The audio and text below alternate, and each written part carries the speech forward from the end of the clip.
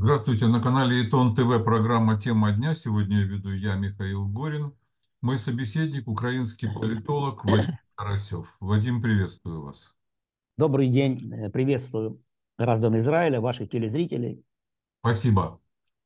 Э, украинские СМИ, а вслед за ним и мировые, пишут о кризисе отношений между президентом Зеленским и Залужным, главой ВСУ, Вооруженных сил Украины. И якобы Зеленский намерен его снять или даже уже снял, сообщения разнятся. Но не, потом поступили официальные опровержения и со стороны Офиса президента, и со стороны обороны Украины. Тем не менее, украинское издание «Зеркало недели» утверждает, что была встреча президента Зеленского и главкома ВСУ Валерия Залужного – на которой обсуждалась отставка последнего, э, но она ни к чему не привела. Самой отставки вроде бы все-таки нет. Э, скажите, пожалуйста, история достаточно шумная и непонятно, что за этим стоит. Действительно ли собирались снимать Залужного, тогда почему, каковы причины этого? Или же это кем-то инициированные слухи кто-то говорит, на, что это рука Москвы, которая пытается создать хаос. Кто-то утверждает, что это новая политика Зеленского. Так кто стоит за всей этой историей? Ну, во-первых, э, кризис э, в отношениях двух главкомов, верховного главнокомандующего и главнокомандующего ССУ, э, он давно. Развязки нету просто. Никак не могут разрешить этот кризис. Ну, поскольку уже, наверное, поздно увольнять э, Залужного, по крайней мере, с точки зрения, ну, скажем так, и военно-политической, и политической обстановки. Но сам Залужный в отставку не уйдет. Потому что если он подаст в отставку, а ситуация на фронте сегодня не очень благоприятна, а на каких-то участках фронта неблагоприятная, то это будет, э, может быть рассмотрено затем, с учетом последующих, скажем так, возможно даже действий Залужного как нового политика – может быть э, ну, рассмотрена или интерпретирована как слабость, как э, уход от ответственности и как э, генерал, который покинул армию в самые, скажем так, сложные моменты боевых действий. Поэтому прекрасно Залужный понимает, что может последовать за его самоотставкой. А с другой стороны, Э, руководство, высшее военно-политическое руководство Украины, президент Зеленский, тоже хотят, но не могут на данном этапе, по крайней мере, уволить э, Залужного, учитывая его уже политический вес самой Украине. Судя по реакции вчера многих медиа, особенно, особенно тех, которые близки к экс-президенту Порошенко, да, и к тому, что называется в Украине всегда вот эта правоцентристская политическая тусовка, как они отреагировали – на эти слухи, на эти э, вытоки или утечки информации, какой они подняли шум. И фактически они во многом, э, скажем, сорвали намерение Зеленского. Чувство, что намерение у него именно вчера было такое. Перейти от разговоров, вот, э, наблюдение за вот этим вялотекущим кризисом двух главкомов, между двумя главкомами, пойти на решительные действия и уволить Залужного. Тем более, что вес э, главкома Залужного надо учитывать и внешнеполитический, так? Военно -полити, военные внешнеполитические, учитывая его связи или, ну, скажем, э, отношение к нему среди командования войск НАТО, в комитете начальников, в Объединенном комитете начальников штабов в США, ну и в целом, скажем так, среди западных военных друзей и партнеров Украины. Поэтому резюме. Конечно же, Зеленский э, хотел бы сегодня иметь э, нового главкома вооруженных сил. Раз. По политическим соображениям, о чем я уже сказал. Так, исходя из кризиса, из того, что Залужный сегодня набирает политический вес и рассматривается многими особенно противниками или оппонентами, скажем так, э, Зеленского, рассматривается как альтернатива политическая на будущих возможных выборах том числе и э, когда начнется новый политический сезон в Украине, а многие рассматривают начало этого нового политического сезона после 31 марта или после 20 мая. Многие так считают, что после 31 марта, когда якобы истекает срок полномочий президента, или когда 20 мая, когда э, заканчивается пятилетняя каденция Зеленского, вот начнется, ну, скажем, вопросы по поводу легитимности президентской власти и так далее. В, это, в этих условиях Зеленский рассматривает Залужного как возможного политического конкурента. И многие это рассматривают. Это первая политическая часть. Вторая часть – это контроль над армией. Потому что, да, Залужный популярный генерал. Армия в условиях войны. Израилю как бы понятна эта тема в условиях войны, причем с разным исходом. Если есть неудача или неуспех, или тем более победа, армия становится очень важной общественно-политической силой. В Украине армия – это институт, который пользуется, среди всех институтов, пользуется наибольшим доверием. Обогнали церковь, обогнали там, не говоря уже о других политических институтах, там Верховную Раду, Кабмин и даже президентскую власть. Поэтому возникает вопрос, а вот армия не пожелает в тех или иных условиях стать более самостоятельной политической силой. И по признакам, некоторым признакам, я не хочу вдаваться там в детали, но тем не менее, э, армия почувствовала свою силу, в том числе и общественную, в том числе и политическую, общественную поддержку. И, конечно же, здесь ну, возникает конфликт не просто двух главкомов, а двух ведущих институциональных сил в стране. Президентская вертикаль, верховное главнокомандование, то есть официальная, скажем так, э, политическая власть, тем более в условиях монополизации этой власти, которая сегодня в руках президента, и вот военными более того, многие политики, которые недовольны тем, что они сегодня отстранены, отодвинуты от рычагов власти, что их не слышно или недовольны, но монополизация власти в руках Зеленского во время войны подталкивают и Залужного, и армию вот к тому, чтобы она проявила свои политические качества в некоторых отношениях и вернула их в большую политическую игру. Ну и последняя уже чисто военная составляющая, военно-стратегическая, я бы так это сказал – Наверное, Зеленский понимает, что активные боевые действия по всей линии фронта сегодня невозможны, по крайней мере, на 24 год. Война переходит в новую стадию, на новый этап и в новый формат. Эта война скорее будет небольших наступлений или отступлений, так, прорывов и так далее, больших боевых действий. А война переходит в такой режим э, конфликта низкой и средней интенсивности – Э, с, скажем, на линии фронта больших событий не будет, а боевые действия или военные действия, как можно назвать, они переносятся в область диверсионной работы, э, беспилотников, военное беспилотие, так, или воздушное беспилотие, и морские спецоперации. В данном случае формат войны уже не требует сухопутного главкома и делать ставку на сухопутные силы а на силы специальных операций, военная разведка и так далее. Поэтому не случайно в качестве сменщика главкома Залужного, но рассматривается многими, причем упорно, э, Кирилл Буданов, глава ГУР, э, главного. Э, главного управления разведки. Многие говорят, что он как бы не военный, не прошел, что он не командовал большими соединениями, что это особый тип, ну скажем так, боевых действий, главное управление разведки. Может быть, поэтому его сейчас, ну, скажем так, намереваются поставить на место главкома или назначить на место главкома. Потому что Зеленский понимает, что когда обрезается военная и финансовая помощь, когда идет, ну, скажем так, такое давление серьезное российских вооруженных сил, и украинская армия должна быть в обороне, войну надо, формат войны надо поменять, вот э, в том варианте, о котором я сейчас говорил. В общем-то, гражданам и зрителям Израиля это понятно. Израиль такие войны, скажем так, в режиме сред... конфликта средней и низкой интенсивности ведет уже более 70 лет, ну, с какими-то периодическими э, э, возвращением к такому формату большой войны.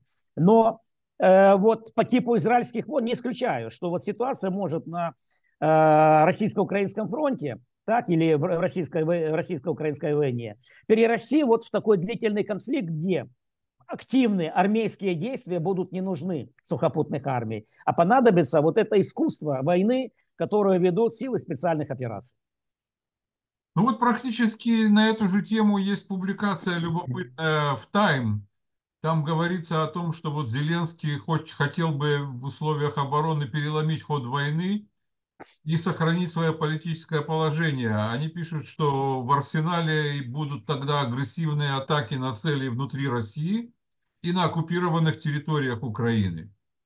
И что, по мнению издания, вот возрастет вероятность заказных убийств российских чиновников, чиновников, связанных с войной, частые удары беспилотниками и ракетами по Крыму, российской инфраструктуре, э, в том числе в Черном море. И, но Тайм пишет о том, что, по его мнению и мнению экспертов, с которыми он беседовал, что это все спровоцирует более интенсивные российские атаки на украинские города. И если это так, то одними спецоперациями не обойдешься, получается. Ну, да, с одной, э, да, это э, позиция Марка Галиотти, если я не ошибаюсь, сегодня я смотрел в Тайм. Но ради, скажем так, установления баланса я скажу, что я о переходе к этому формату войны и в связи с, вот, с, с возможной или слухами об отставке Заложного и назначении Буданова говорил вчера одному украинскому интернет-ресурсу, так, или YouTube-каналу. Поэтому э, я не повторяю это, то, что написала Тайм, а говорил это еще вчера, как только появилась информация о том, что вот возможно такая рокировка. Что касается э, воздушных атак, так, ну это будет укрепление ПВО, укрепление э, война за воздух, ну, кстати говоря, вот э, это сейчас как раз один из э, направлений активных боевых действий. Так, война за воздух. И, конечно же, это будет менять формат войны, но я не, я не, не настаиваю и не говорю о том, что это должно быть, ну, скажем так, в абсолютном такой диверсионном характере действий. Так? Вот. Э, конфликт средней и низкой интенсивности, он может приобретать другие формы очертания, на, на сдерживание, на, скажем, какие-то точечные спецоперации, ну, как э, на Ближнем Востоке это ведется уже давно, боевые действия. Так? Поэтому главное все-таки то, что три театра военных действий, диверсионный, воздушный и морской, а не сухопутный. Э, Залужный сухопутник. Он э, типичный, скажем так, армейский генерал. Закончил институт сухопутных войск, Академию сухопутных войск в Одессе. Кстати говоря, Буданов тоже заканчивал свое время, но профиль у него именно вот тот, который касается активных, точечных, диверсионных, молниеносных действий, скрытых, которые сегодня, очевидно, будут востребованы украинским военно-политическим руководством на театрах э, российско-украинской войны. Какая конкретика может быть, не знаю здесь, так? Но еще раз говорю, я говорю об этом э, сейчас не для того, чтобы вдаваться в тонкости, как будут проводиться эти операции, какой будет ответ Российской Федерации. Наверное, это ну, тема следующих наших разговоров, так, последующего разговора. Я только это к чему говорю? Потому что у многих вызывает недоумение – или неприятие того, что вместо Залужного будет Буданов. Что это якобы чисто, ну скажем так, назначение по принципу лояльности или преданности или верности Зеленскому. Возможно, это и так. Но главное все-таки, мне кажется, не э, акцентировать внимание на каких-то персональных отношениях и персональных чувствах, а на то, что формат войны меняется. Понимаете, вот это очень важно что боев, активных боевых действий по всей линии фронта, по крайней, по крайней мере, как минимум в 2024 году не будет. А возможно и в 2025 году не будет. И война переходит в затяжной, возможно, даже долговременный характер, но это уже будет не та война, которая ведется с 22 по, 23, по 24 год. А это будет война уже в формате, который известен во всем мире. И по всему миру он наблюдаем, так в годы холодной войны и после холодной войны. Конфликта низкой, территориального конфликта низкой и средней интенсивности. Тогда у меня к вам вопрос. Э, в политической составляющей возможного снятия Залужного и вообще возможного конфликта между Залужным и Зеленским, угу. понятно, вы рассказали. А вот э, объясните, пожалуйста, Залужный что? Противник вот этого нового этапа войны? В этом расхождение, ну, потому что не может же быть только из-за политических амбиций на в такое горячее время менять так, столь ключевую фигуру. Должна быть какая-то еще рациональная основа. основа. Да. Было бы ну, понятно, ну, э, э, я... был противником новых этапов войны, новых методов ведения войны, о которых вы говорите. Так оно и есть или нет? Я согласен с вами. Вопрос очень правильный, он по делу, как говорится, так. Но тут же, кроме военных, чисто военных, и военно-оперативных, и военно-стратегических аспектов, есть еще аспект политический. Я в нем вначале сказал. Контроль над армией в условиях усталости, истощения общества и морального истощения от войны, э, намерения политиков, которые ныне пребывают в оппозиции, ну, не слышно сильно, так, и на фоне относительных, но неудач или неудачи с контрнаступлением в 23 году, на фоне обрезания, снижения финансовой и военной помощи со стороны западных друзей Запада Украине, а они пытаются сегодня вернуться в большую игру. И это э, возвращение, в том числе и к активному публичному оппонированию Зеленского, она уже идет. Война не, не смогла, особенно вот конец 23 года, не смогли подавить полностью политику. Эта политика возвращается. И выборный год, 24-й выборный год, он подвешен, непонятно. Пока идет, скажем так, э, военные действия, идет, идет э, и продолжается военное положение выборов, нет, не планируется. Но легитимность власти президента Зеленского может снижаться – и по причине военных, э, военного неуспеха в 2023 году, и по причине экономических трудностей в условиях снижения экономической помощи, и по причине того, что сроки, конституционные сроки, понятно, эта ситуация, скажем так, вкусовщина может быть юридическая. Кто-то считает, что президент может выполнять свои полномочия до вступления в полномочия другого президента. Кто-то будет интерпретировать по-другому. Но в принципе политическая система Украины сегодня начинает, ну скажем так, расползаться, начинает активизироваться политики. И в данном случае чью, чью сторону армия может взять? Или армия может саму инициативу взять? Понимаете, в Украине никогда не, силовые структуры никогда не играли ключевую роль в политической жизни. Никогда. В отличие, например, от России, в отличие, например, от Израиля. В Израиле многие военные в политике, но политический, парламентский контроль над военными действует. А в Украине это еще не отработана ситуация. Поэтому ситуация в Украине может пойти, например, лучший путь – это израильский путь.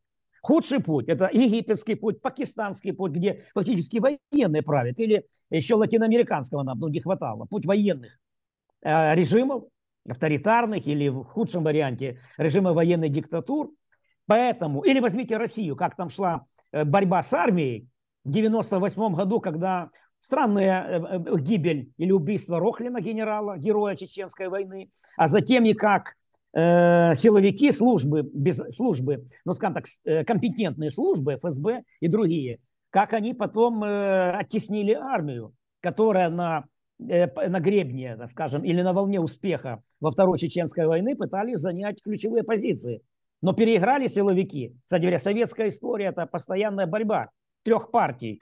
Партия идеологическая, КПСС, ВКПБ там, или РКПБ до этого. Это было на, на протяжении всей советской власти.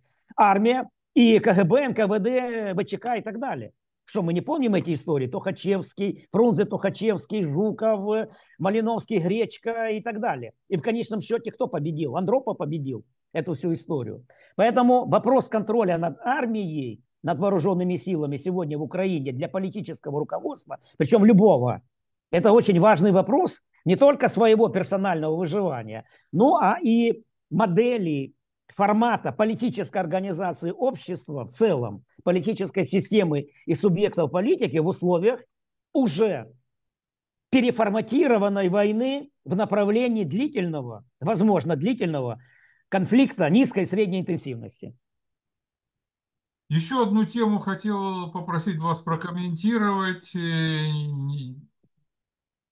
финансово-экономическая угроза Украине. Они пишут много, и украинские издания, и мировые издания, причем не только профильные, не только экономические, но и политические. Они пишут, что перерыв в финансовых потоках помощи Украине может привести к краху, так вообще употребляется этот термин буквально, коллапсу всей финансово-экономической структуры Украины. В этом э, отражение реальности или специальный такой э, эпатаж, то есть с запасом, чтобы напугать спонсоров, чтобы они поторопились оказывать помощь Украине? Ну, я думаю, это немецкое слово «крах», так, или исчезновение, разрушение, Э, коллапс, как можно, катастрофа. А, вот. Это, конечно, с неким преувеличением, с неким навесом преувеличить для того, чтобы Запад ну, осознал серьезность проблемы. Но если разобраться, то, конечно, не все так э, категорично. Почему? Потому что в чем проблема? Проблема в дефиците государственного бюджета. Так, э, дефицит 42 миллиарда долларов. И был расчет на то, что хотя бы 30 миллиардов Украина получит для того, чтобы вот этих запросов Байдена 60 миллиардов, 61 миллиард, там, где и пакет для Израиля, и Тайваня, и для границы, он частично перекроет этот дефицит. Для чего этот дефицит нужен?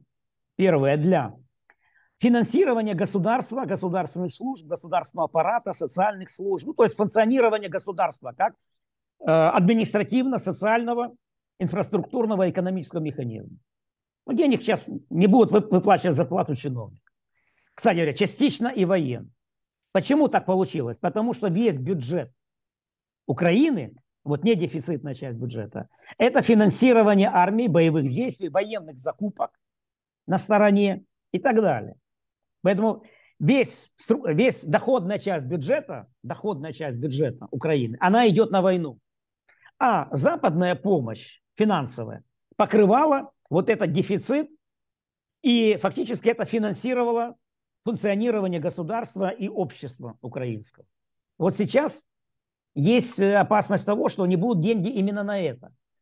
Другая часть помощи Запада, военная, так, которая ну, определяя как военная часть, она шла больше на американские или там на западноевропейские ВПК.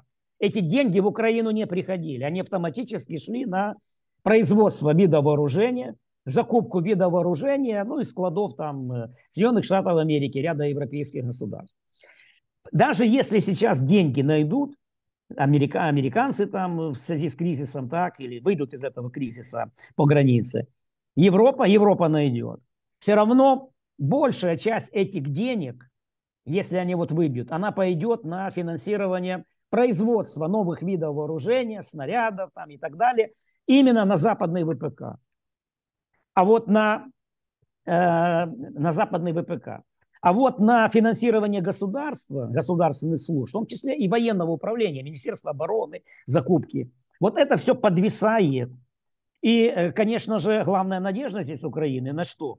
На то, что 1 февраля все-таки Евросоюз примет решение о выделении 50 миллиардов евро на 5 лет это значит каждый год по 10 миллиардов евро на заполнение вот этого дефицита бюджета. Плюс Германия уже пообещала, Шольц едет в Вашингтон для того, чтобы скоординировать эту военную помощь.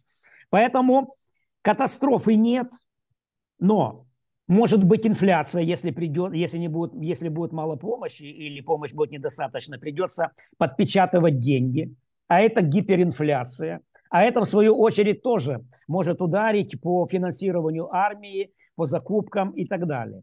Поэтому э, вот в чем э, суть этой всей финансовой проблемы. Поэтому Запад тут должен тоже определяться, это раз. А во-вторых, вот почему сегодня все-таки, э, несмотря на желание э, продолжать войну вот в таком активной фазе армейских операций, боевых действий, украинское военно-политическое руководство понимает ну, сложность нынешней ситуации и необходимость перейти в оборону и длительное сдерживание и снижение интенсивности боевых действий. В конечном счете тут играет роль не только фактор военно-оперативный, военно-стратегический, но и военно-экономический. Вадим, спасибо, что были с нами, за ваши комментарии. На этом все. Напомню, что моим собеседником сегодня был украинский политолог Вадим Карасев. Всего доброго. Да, спасибо.